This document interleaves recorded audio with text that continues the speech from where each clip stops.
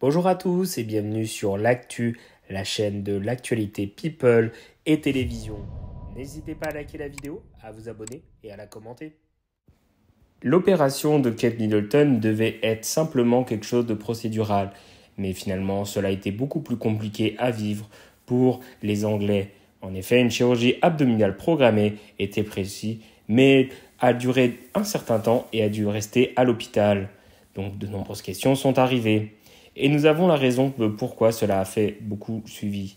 Les Britanniques se sont rués sur les sites d'information. Une augmentation de sa fréquence de 1000% dans les heures. Kate avait mal géré son séjour à l'hôpital. Selon elle, la mère de famille aurait commis une erreur durant son hospitalisation. D'innombrables raisons. L'hospitalisation a quand a dû en profiter. Rendre le monde un petit peu meilleur pour les citoyens. Il y avait quelque chose de nouveau et d'important. De nombreuses hypothèses sont posées, mais rien de concret. Merci à tous d'avoir regardé la vidéo. N'hésitez pas à la liker, à vous abonner et à la commenter.